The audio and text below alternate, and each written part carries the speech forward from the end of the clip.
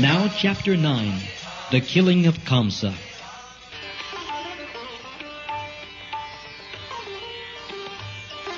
After Kamsa's wrestlers expressed their determination, the Supreme Personality of Godhead, the killer of Madhu, confronted Chanura, and Lord Balaram, the son of Rohini, confronted Mushtik. Krishna and Chanura, and then Balaram and Mushtik, locked themselves hand to hand, leg to leg, and each began to press against the other with a view to come out victorious. They joined palm to palm, calf to calf, head to head, chest to chest, and began to strike each other. The fighting increased as they pushed one another from one place to another. One captured another and threw him down on the ground, and another rushed from the back to the front of another and tried to overcome him with a hold. The fighting increased, step by step. There was picking up, dragging and pushing, and then the legs and hands were locked together. All the arts of wrestling were perfectly exhibited by the parties as each tried his best to defeat his opponent.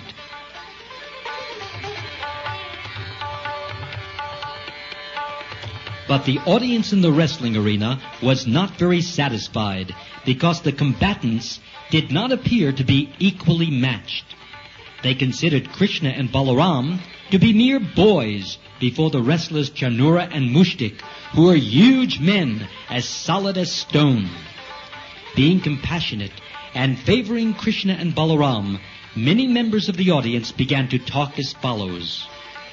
Dear friends, there is danger here. Another said, even in front of the king, this wrestling is going on between incompatible sides. The audience had lost their sense of enjoyment. They could not encourage the fighting between the strong and the weak. So they said, Mushtik and Chanura are just like thunderbolts, as strong as great mountains. And Krishna and Balaram are two delicate boys of very tender age. The principle of justice has already left this assembly. Persons who are aware of the civilized principles of justice will not remain to watch this unfair match. Those taking part in this wrestling match are not very much enlightened. Therefore, whether they speak or remain silent, they are being subjected to the reactions of sinful activities.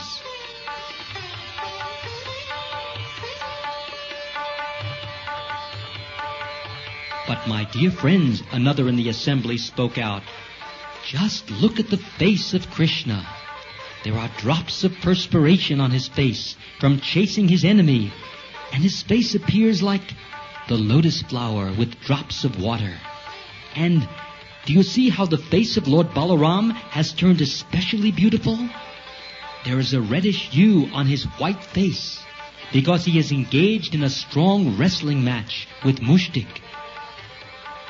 Ladies in the assembly also addressed one another. Dear friends, just imagine how fortunate is the land of Vrindavan, where the Supreme Personality of Godhead Himself is present, always decorated with flower garlands, and engaged in tending cows, along with his brother, Lord Balaram. He is always accompanied by his cowherd boyfriends, and he plays his transcendental flute. The residents of Vrindavan are fortunate to be able to constantly see the lotus feet of Krishna and Balaram, which are worshipped by great demigods like Lord Shiva and Brahma and the goddess of fortune. We cannot estimate how many pious activities were executed by the damsels of Brajabhumi so that they were able to enjoy the supreme personality of Godhead and look on the unparalleled beauty of his transcendental body. The beauty of the Lord is beyond compare. No one is higher than or equal to him in beauty of complexion or bodily luster. Krishna and Balaram are the reservoir of all kinds of opulence, namely wealth, strength, beauty, fame, knowledge, and renunciation. The gopis are so fortunate that they can see and think of Krishna 24 hours a day, beginning from their milking the cows or husking the paddy or churning the butter in the morning. While engaged in cleaning their houses, and washing their floors, they are always absorbed in thought of Krishna.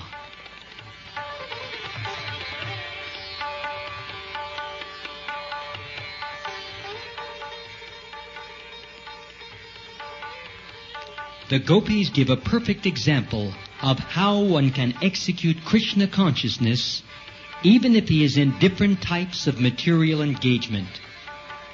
By constantly being absorbed in the thought of Krishna, one cannot be affected by the contamination of material activities.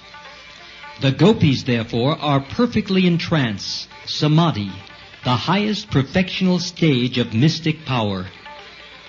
In the Bhagavad Gita, it is confirmed that one who is constantly thinking of Krishna is a first class yogi among all kinds of yogis.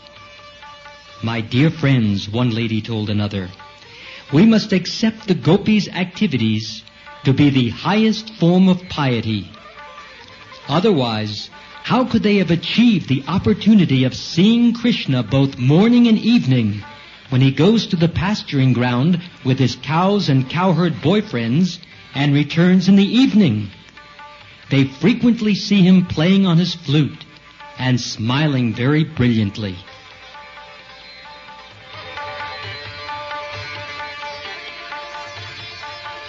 When Lord Krishna, the supersoul of every living being, understood that the ladies in the assembly were anxious for him he decided not to continue wrestling, but to kill the wrestlers immediately. The parents of Krishna and Balaram, namely Nanda Maharaj, Yashoda, Vasudeva and Devaki, were also very anxious because they did not know the unlimited strength of their children. Lord Balaram was fighting with the wrestler Mushtik in the same way that Krishna, the Supreme Personality of Godhead, was fighting and wrestling with Chanura. Lord Krishna appeared to be cruel to Chanura, and he immediately struck him thrice with his fist. The great wrestler was jolted to the astonishment of the audience. Chanura then took his last chance and attacked Krishna just as one hawk swoops upon another. Folding his two hands, he began to strike the chest of Krishna. But Lord Krishna was not even slightly disturbed, no more than an elephant that is hit by a flower garland. Krishna quickly caught the two hands of Chanura and began to wheel him around. And simply by this centrifugal action, Chanura lost his life. Krishna then threw him to the ground. Chanura fell, just like the flag of Indra, and all his nicely decorated ornaments were scattered hither and thither.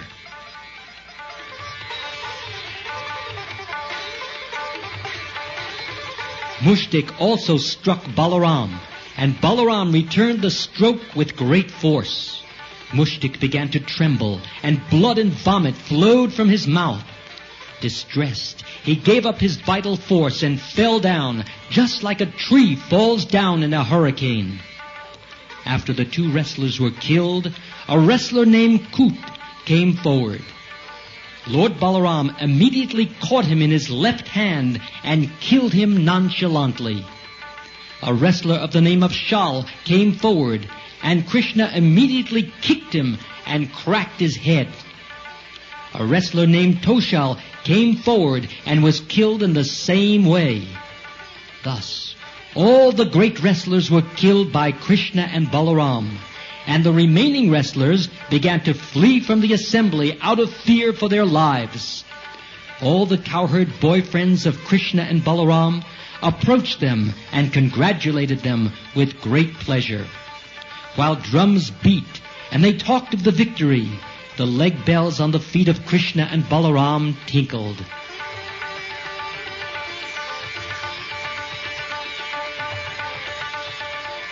All the people gathered there began to clap in great ecstasy, and no one could estimate the bounds of their pleasure. The Brahmins present began to praise Krishna and Balaram ecstatically. Only Kamsa was morose. He neither clapped nor offered benediction to Krishna. Kamsa resented the drums being beaten for Krishna's victory. And he was very sorry that the wrestlers had been killed and had fled the assembly. He therefore immediately ordered the drum playing to stop and began to address his friends as follows. I order that these two sons of Vasudev be immediately driven out of Mathura. The cowherd boys who have come with them should be plundered and all their riches taken away. Nanda Maharaj should immediately be arrested and killed for his cunning behavior. And the rascal Vasudev should also be killed without delay. Also, my father Ugrasen, who has always supported my enemies against my will, should be killed.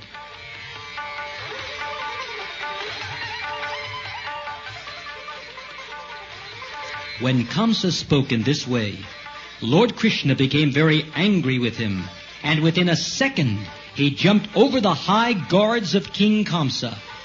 Kamsa was prepared for Krishna's attack, for he knew from the beginning that he was to be the supreme cause of his death. He immediately unsheathed his sword and prepared to answer the challenge of Krishna with sword and shield. As Kamsa wielded his sword up and down, hither and thither, Lord Krishna, the supreme powerful Lord, caught hold of him with great force. The supreme personality of Godhead, who is the shelter of the complete creation, and from whose lotus navel the whole creation is manifested, immediately knocked the crown from the head of Kamsa and grabbed his long hair in his hand he then dragged Kamsa from his seat to the wrestling dais and threw him down. Then Krishna at once straddled his chest and began to strike him over and over again. Simply from the strokes of his fist, Kamsa lost his vital force. To assure his parents that Kamsa was dead, Lord Krishna dragged him just as a lion drags an elephant after killing it. When people saw this, there was a great roaring sound from all sides as some spectators expressed their jubilation and others cried in lamentation.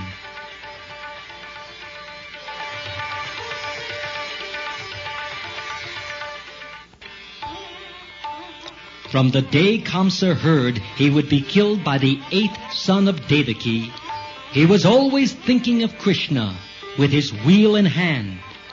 And because he was very much afraid of his death, he was thinking of Krishna in that form 24 hours a day without stopping, even while eating, while walking, and while breathing. And naturally, he got the blessing of liberation. In the Bhagavad Gita it is stated, Sada Tad Bhava Bhavita. A person gets his next life according to the thoughts in which he is always absorbed. Kamsa was thinking of Krishna with his wheel, which means Narayan, who holds a wheel, conch lotus flower, and club.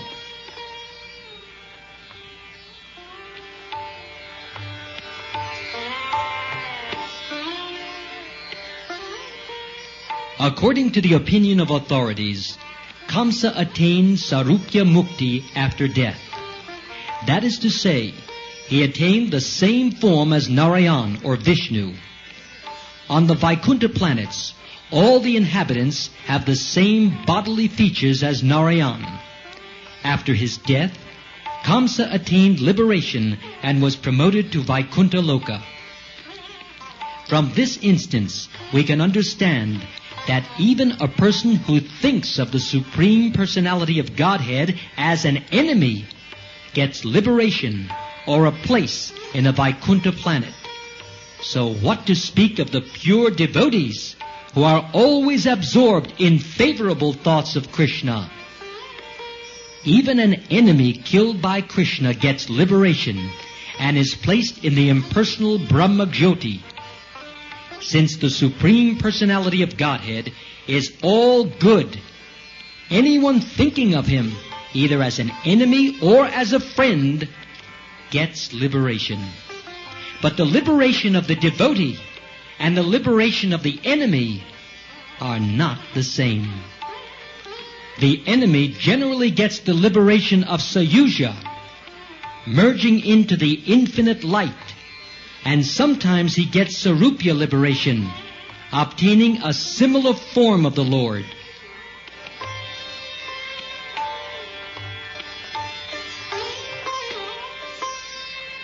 Kamsa had eight brothers headed by Kanka, all of them younger than he.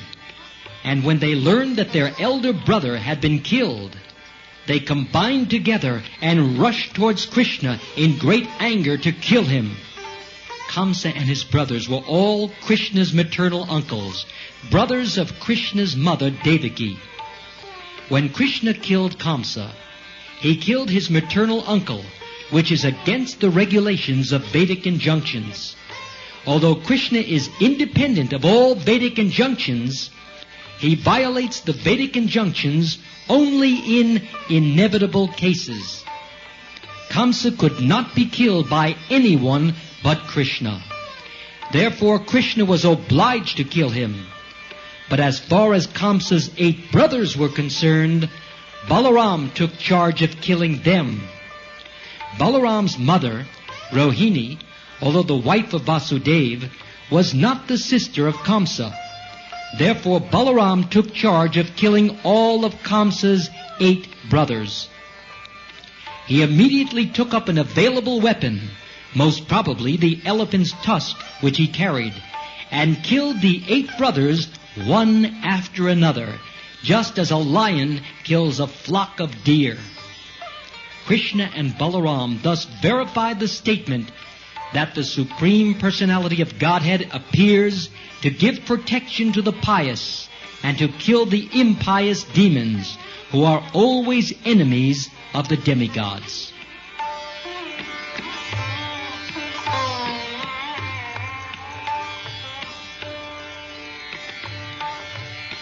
The demigods from the higher planetary systems began to shower flowers congratulating Krishna and Balaram.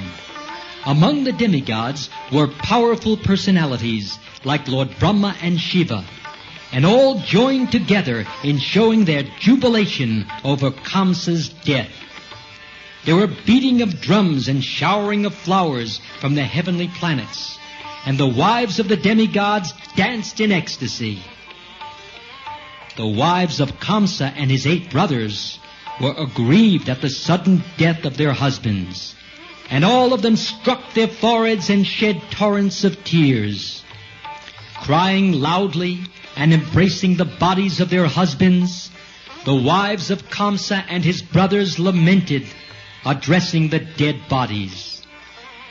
Our dear husbands, you are so kind and are the protectors of your dependents. Now, after your death, we are also dead, along with your homes and children. We no longer look auspicious. On account of your death, the auspicious functions to take place, such as the sacrifice of the bow, have all been spoiled. Our dear husbands, you treated persons ill, persons who were faultless, and as a result, you have been killed. This is inevitable because a person who torments an innocent person must be punished by the laws of nature. We know that Lord Krishna is the supreme personality of Godhead. He is the supreme master and supreme enjoyer of everything. Therefore, one who neglects his authority can never be happy. And ultimately, as you have, he meets death.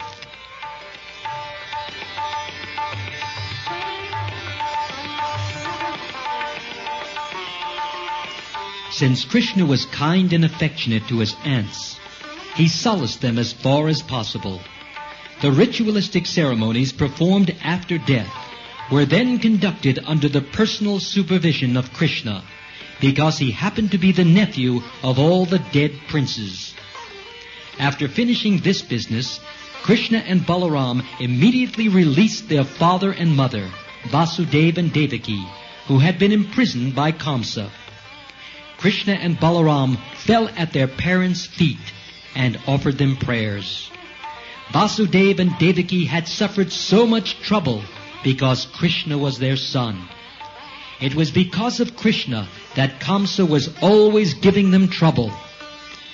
Devaki and Vasudeva were fully conscious of Krishna's exalted position as the Supreme Personality of Godhead. Therefore, although Krishna touched their feet and offered them obeisances and prayers, they did not embrace him, but simply stood up to hear the Supreme Personality of Godhead. Although Krishna was born as their son, Vasudeva and Devaki were always conscious of his position. Thus ends the Bhakti Vedanta purport of the second volume, ninth chapter of Krishna, the killing of Kamsa.